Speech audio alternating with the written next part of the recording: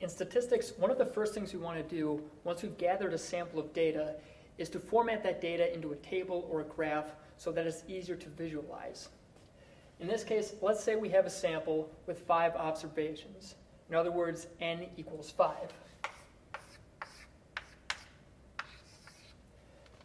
And each value is 3, 5, 5, 5, and 7.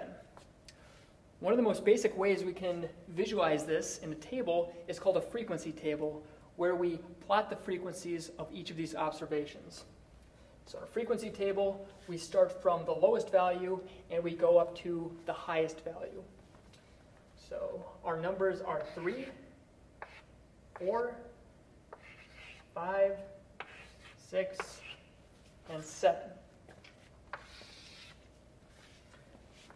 Frequency goes in the next column.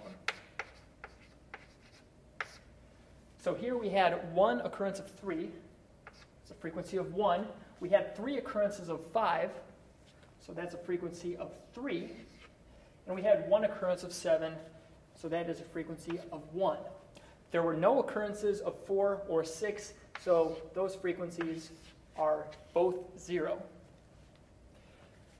The last thing we want to do is put in a percentage column so that we can quantify what percentage of the time we have each of these observations.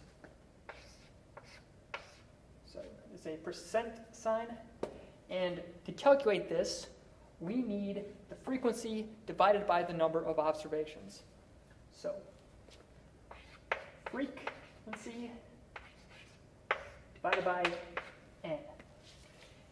In the case of 3, there was a frequency of 1, divided by n of 5 is 1 over 5, or 0.2. That's a percentage of 20. For 4, there were no observations, and therefore it's 0 over 5, which is 0.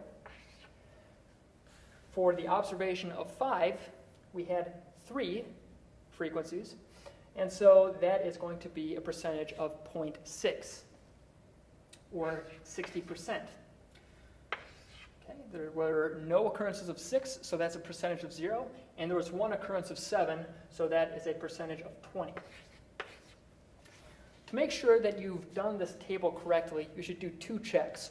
One is to make sure that all of your frequencies add up to the total number of observations.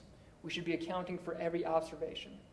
So 1 plus 3 plus 1 is 5, and there were indeed 5 observations. The second check, if you made a percentage column, is to make sure that the percentages add up to 100%. Again, we should be accounting for every observation, none should be left out, and we should therefore be accounting for 100% of the observations. In this case, we have 20 plus 60 plus 20, which equals 100%. That's how you make a simple frequency table with a percentage column. And in the next tutorial, we'll be talking about how to plot this in a diagram called a histogram.